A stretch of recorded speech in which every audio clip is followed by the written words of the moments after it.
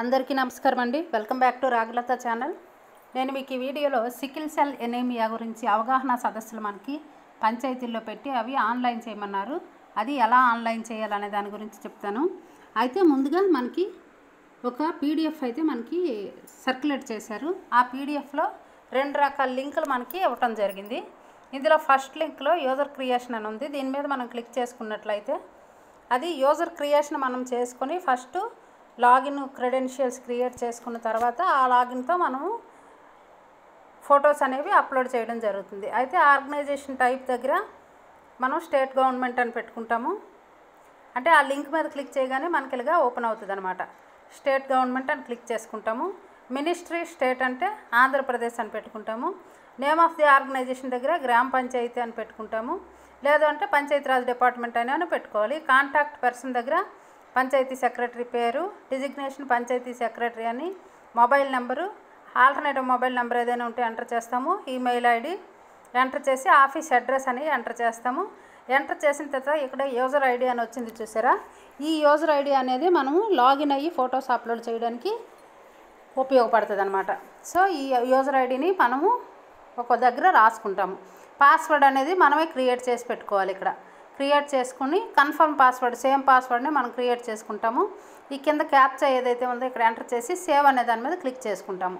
Save అనే దాని మీద క్లిక్ చేసుకున్న తర్వాత మనకి యూజర్ ఐడి పాస్వర్డ్ అని ఒక మెసేజ్ వచ్చి సేవ్డ్ సక్సెస్ఫుల్లీ అని వచ్చిన తర్వాత మనకి యూజర్ ఐడి పాస్వర్డ్ అనేది క్రియేట్ అయినట్టు అనమాట యూజర్ ఐడి పాస్వర్డ్ అంటే ముందు మనకి ఇక్కడ మొబైల్ నెంబర్ ఎంటర్ చేస్తాం కదా ఈ మొబైల్ నెంబర్కి ఓటీపీ అనేది వెళ్ళడం జరుగుతుంది.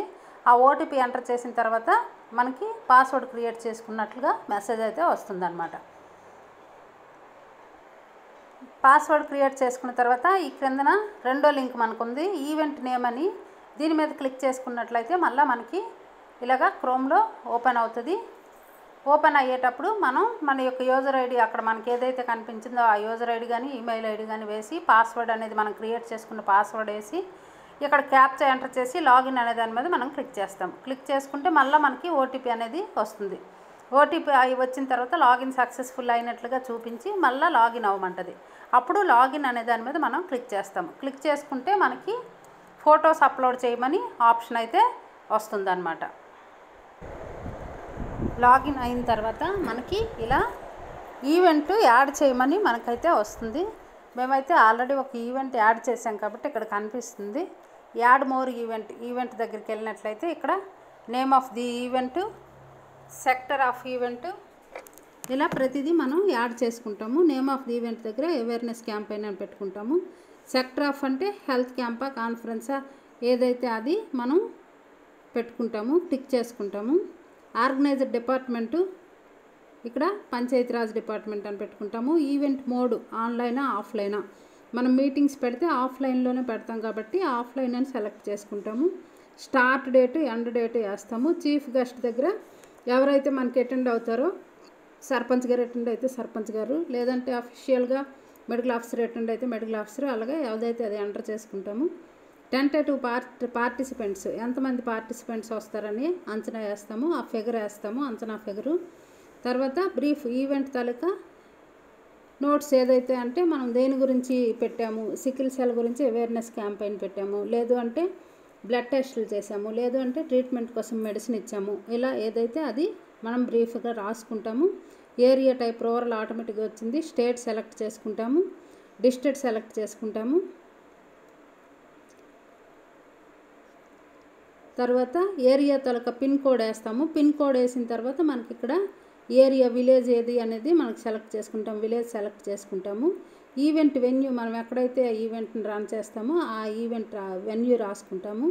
Name of the gram panchayat gram panchayat పేరు రాస్తాము. Awareness card distributions awareness cards ఏవైనా మనం పంచితే అక్కడ ఫిగర్ వేస్తాము. స్క్రీనింగ్ డన్ అనేసి అంటే మనం ఏవైతే మెడికల్ ఎగ్జామినేషన్స్ బ్లడ్ టెస్ట్లు ఏవైనా చేస్తే ఎన్నైతే అన్నీ వేస్తాము. యాడ్ ఈవెంట్ మీద కింద మనం క్లిక్ చేసినట్లయితే సక్సెస్ఫుల్లీ అని మనకి మెసేజ్ ఒకటి వస్తుంది.